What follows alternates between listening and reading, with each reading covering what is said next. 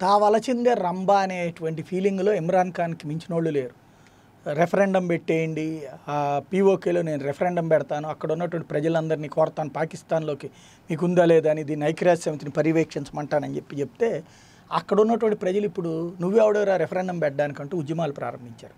కాశ్మీర్ అనేది స్వతంత్రమే మేమందరం స్వతంత్రంగానే ఉంటాం నీతో కలవం పొమ్మని ఉద్యమాలు. వాస్తవంగా దీని వెనకాల భారతదేశం ఉండొచ్చును కూడా. ఎందుకంటే ఆ ప్రాంతంలో గతంలో సుదీర్ఘకాలం పాటు గత డెబ్బై ఏళ్ళ నుండి పాకిస్తాన్ అక్కడ వాళ్ళతో డ్రామాలు ప్లే చేస్తా మతం కార్డు వాడుతూ భారత్ పట్ల ద్వేషం పెంచి పోషిస్తుంటే గత పదేళ్ళ నుంచి చూసుకుంటే గత ఆరేడేళ్ళ నుంచి చూసుకుంటే మోడీ గవర్నమెంట్ వచ్చిన తర్వాత ఆ ప్రజల్లో చైతన్యం తెచ్చింది అది కౌంటర్ ఇంటెలిజెన్స్ విభాగం తెలివిగా చేసినటువంటిది అక్కడ అన్రెస్ట్కి గురైనటువంటి ఆయా ప్రాంతాల్లో ఉన్నటువంటి ప్రజలకి భారత్ అయితేనే బెటర్. కాశ్మీర్లో వాళ్ళకి ఈ సదుపాయాలు వస్తున్నాయి. కాశ్మీర్లో వాళ్ళు హ్యాపీగా ఉన్నారు. వాళ్ళందరికీ ఉపాధి అవకాశాలు వస్తున్నాయి. వాళ్ళందరికీ భూమి హక్కు వస్తుంది. వాళ్ళందరికీ ఉన్నటువంటి రిస్ట్రిక్షన్స్ పోతున్నాయి. ఆ ప్రాంతం అంతా అభివృద్ధి చెందుతుంది.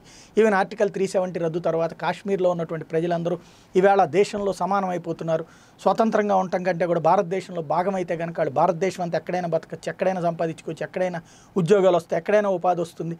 ఏ విధంగానైనా చదువుకోవచ్చు. ఏమైనా ఎదగచ్చు. ఏ స్థాయికైనా పోవచ్చు. ఎమ్మెల్యేలు అవచ్చు ఎంపీలు అవచ్చు మంత్రులు అవ్వచ్చు. అధికారులు అవ్వచ్చు అనే ఒక ఫీలింగ్ని అక్కడ. అదే మీరు పీఓకేగా ఉంటే ఎప్పటికీ మీ బతుకుల్లో పాకిస్తాన్కి పనికి రాకుండా పోతారు భారత్కి పనికి రాకుండా పోతున్నారు మధ్యలో ఉండిపోతున్నారు అన్నటువంటి ఒక ఫీలింగ్ని వాళ్ళల్లో సైకలాజికల్గా క్రియేట్ చేయడంలో సక్సెస్ అయింది.